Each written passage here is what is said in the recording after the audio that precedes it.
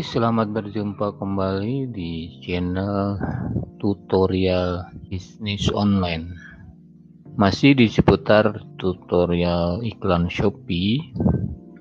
Pada kali ini saya akan sharing tentang cara beriklan produk serupa yang cukup efektif untuk produk yang baru memulai iklan produk serupanya. Nah, satu alasan ketika kita ingin memulai produk serupa, salah satunya dengan pertimbangan bahwa produk kita sudah layak untuk disandingkan dengan produk-produk kompetitor. Ketika sudah ada reputasi penjualan, bisa memulai iklan produk serupa. Karena yang saya pahami, ketika iklan itu dimulai dari serupa dulu, belum iklan kata kuncinya matang, maka iklannya itu kurang efektif kinerja ini saya ambil contoh produk ini sudah cukup umur untuk menjalankan iklan produk serupa dengan 21 produk terjual dari 8 orang yang pesan gitu. Ini kan berarti ada 8 penjualan di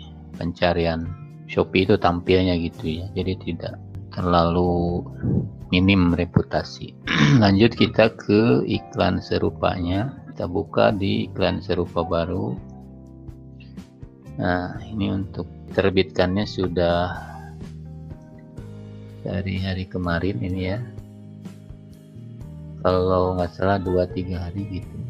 Iklan serupanya. Dan ini omset penjualan tercatatnya sudah 10 produk terjual. Nah, bagaimana memahami karakteristik iklan baru di serupa gitu, produk serupa ini? Untuk pertama hal yang pertama adalah kita perhatikan di indikator jalan tidaknya ini.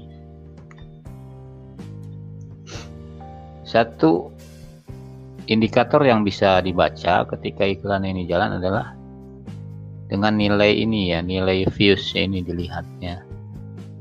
Dilihatnya ada enggak gitu? Kalau enggak dilihat ada yang lihat berarti iklan kita kurang jalan. Nah, bagaimana langkah-langkahnya untuk mengatasi iklan yang tidak jalan? Berikut akan saya sampaikan tutorialnya, sharingnya. Pantengin terus, jangan di skip-skip biar dapat data yang utuh Pertama kita ke biaya iklan dulu ya. Ini biaya iklan ketika iklan serupa tidak jalan itu jangan di bawah rekomendasi. Jika kita setting di 100 perak, ini iklan tidak jalan. Pasang aja digedein dulu ya. 700 biar jalannya kencang wush Nah, baikkan ini ya, jangan lihat per kliknya berapa, yang penting iklan kita jalan dulu di awal itu. Baru setelah ininya dikasih jalan, modal dasarnya itu, kita lihat di sini di rinciannya, penempatan iklannya gitu. Ini kan ada di tiga kriteria di sini.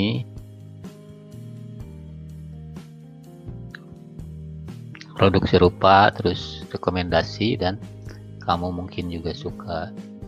Ini juga bisa kita setting sesuai keinginan. Mau yang mana dulu yang di on kan apakah yang ini dulu yang udah ada penjualan ini bisa saja ya. Kita ambil contoh ini mau digedein karena sudah ada penjualan. Ya kan nyaran ini 40% tuh. Kita ini walaupun enggak dikasih harga itu iklan tetap jalan ya. Ini kalau misalnya presentasinya nggak ditambah pun jalan cuman jalannya itu seperti apa gitu. Nanti kita kinerjanya kan bisa dibaca lagi. Ketika ingin percepatan maka iklan itu bisa ditambah presentasinya gede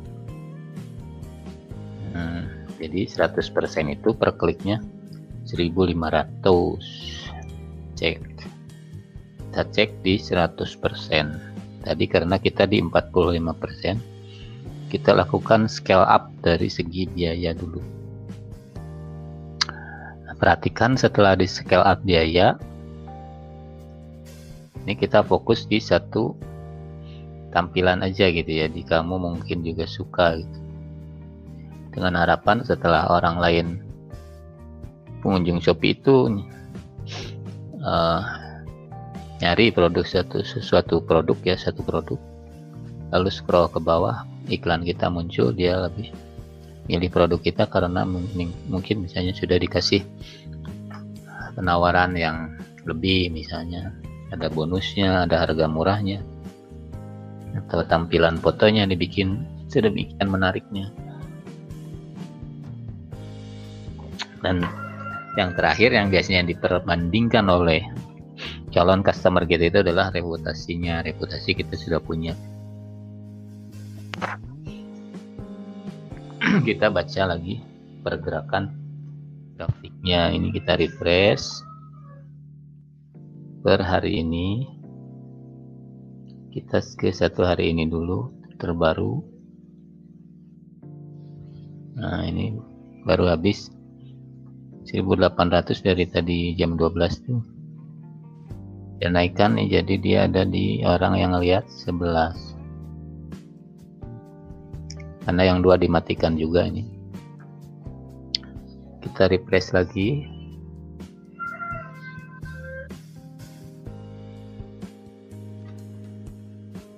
Ini dikasih jatahnya 150.000 harian 15.000 harusnya ini. Udah aja saya kasih tanpa batas ya. Ya mau habis berapa dia coba sampai sampai ditengok lagi beberapa jam kemudian. Nah kalau lagi nguji-nguji kinerja iklan itu jangan di, di itu di apa dikasih batasan dulu. Biar dia leluasa nayangin iklannya gitu. Dibatasi datanya sedikit. Data yang didapat. Jumlah klik pesanan belum ada hari ini. Kalau kita di satu minggu yang lalu ada mungkin. Ada ya ini yang ini dua. Dari 2000 yang lihat itu ada dua pembelian dengan produk terjualnya 10 pieces lumayan murah kalau iklan serupa kalau udah matang. Jadi matangnya itu harus diawali dulu dari prosesi kata kuncinya baru bagus. Nah itu ya kalau misalnya nanti di perjalanan pengawalannya ini terlalu kencang kita ngarepinnya mungkin yang jalan yang sedang aja gitu. Ini bisa dikurangin lagi di sini dulu dapurnya. Lalu ke sini dikurangi juga. Nah ini kan indikatornya masih merah tuh. Merah ini dalam artian si kinerja iklan ini lagi menurun. Kalau kita tidak coba naikkan dengan naikkan bid itu parah iklan kita tidak akan jalan